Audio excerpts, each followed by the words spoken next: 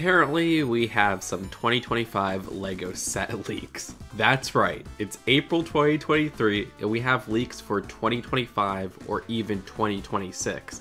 That's if Exabricks, a hit or miss LEGO leaker, is reliable.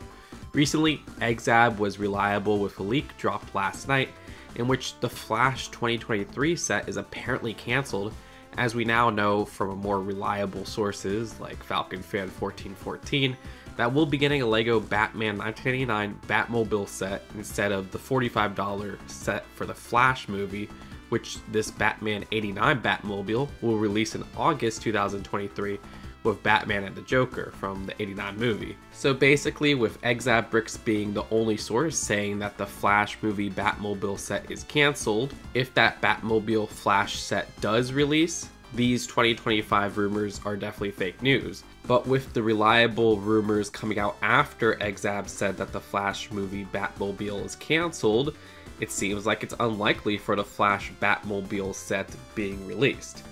But for now, according to Exabricks, for 2025 or 2026, we'll be getting a LEGO Ninjago City apartment set. Keep in mind, we're still getting LEGO Ninjago City markets on June 1st, 2023 for $370. An illegal leak of that set showed up recently as well, but according to Exab, LEGO will make this a continuing series of modulars. More LEGO apartments sounds good to me, as it's a rarity in LEGO City-esque sets. And then apparently, LEGO Bionicle is returning in 2025. Saying how Ninjago has become an evergreen brand for LEGO, and that there's no slot of constraction currently, a LEGO Bionicle return actually sounds likely to me.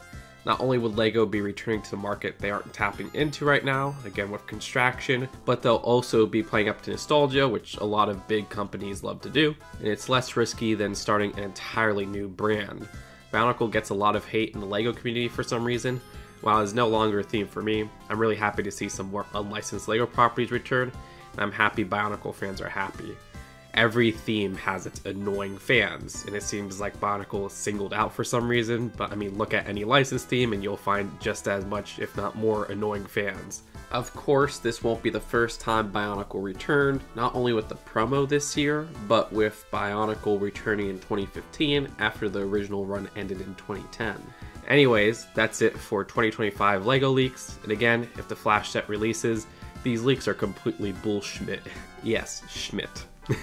Let me know what you think of these 2025 LEGO leaks in the comments below. I'm still recovering from my cold, and I'll see you later. Peace out. Bye.